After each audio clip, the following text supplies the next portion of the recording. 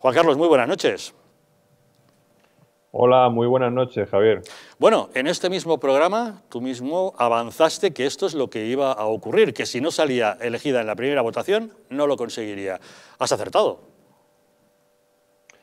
Pues sí, me estoy triste por haber acertado, porque creo que es una mala noticia para España. Lo habitual, porque ya de hace unos años Luis de Guindos también fue apartado de esta candidatura y bueno, eh, nuestra presencia e influencia cada vez es menor. Pero sí, eh, lo inaudito de todo esto es que ella eh, tuvo nueve votos, se quedó a uno en la primera votación y no consiguió obtener ni uno solo de los que habían apoyado inicialmente al candidato liberal. Y esto, eh, Javier, tiene además unas consecuencias a nivel interno, porque mm, Sánchez eh, confiaba que nuestro partido, Ciudadanos, que somos vicepresidentes del Partido Liberal Europeo, íbamos a hacer eh, lo posible por ganar algún voto, porque solo necesitábamos uno del área liberal y no lo hemos conseguido, con lo cual esto creo que va a tener consecuencias también en este nuevo giro que se ha experimentado en la política española de acercamiento entre PSOE y Ciudadanos. Veremos lo que ocurre a partir de la semana que viene. Esa puede ser la interpretación a nivel interno, pero a nivel externo, ¿la interpretación podría ser que los socios europeos no se fían del gobierno español? Es un hecho. Eh, ya lo veníamos anunciando también. En el próximo Consejo Europeo se va a materializar. No habrá dinero, habrá poco y además lo habrá con condiciones los socios europeos no se fían y en este caso, como el peso de los países no es lo que cuenta, sino el voto individual, no van a permitir que aquí se siga despilfarrando el dinero. Necesitan saber que se va a destinar el dinero donde realmente hace falta y no a seguir alimentando a la industria política. Por lo tanto, ahora eh, eh, Sánchez y Calviño tendrán que hacer un plan serio, eh, honesto, que no sé si lo van a poder hacer eh, o van a ser creíbles para que Europa nos dé las ayudas que tanto vamos a necesitar a partir del otoño. Pero esta derrota de Calviño, ¿qué ha sido? ¿Una pinza entre los populares y los liberales o ha sido una conjura de los pequeños, de los partidarios de la ortodoxia fiscal, los llamados halcones del norte?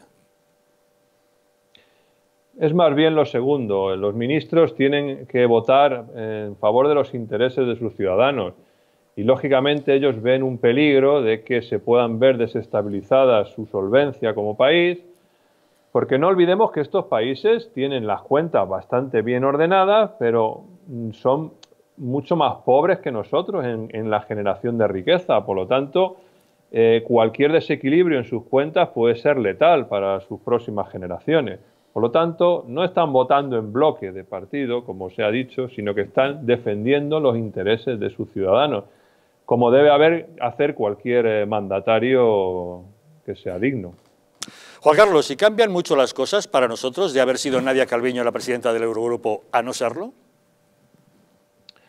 Sí, cambian mucho las cosas porque el presidente del Eurogrupo, aunque realmente su influencia es un voto más dentro de ese elemento, pero maneja las agendas, maneja las, eh, las prioridades, los elementos a debatir y sobre todo estamos hablando de que el que va a ser nuevo presidente es irlandés y sus prioridades son las políticas fiscales, no las ayudas. Por lo tanto, esto, mm, en mi opinión, va a ser beneficioso también para todos aquellos que veían fantasmas, donde veían, eh, digamos, unas subidas de impuestos inminentes, eh, que, bueno, en este caso probablemente eh, Sánchez tendrá que guardarlo un poco en el cajón este tipo de expectativas.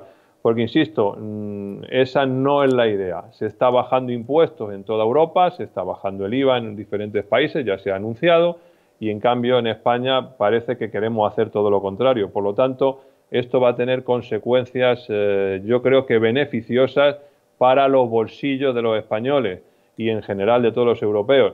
Pero es otro palo en las costillas más a la influencia y a la diplomacia española dentro de la Unión Europea.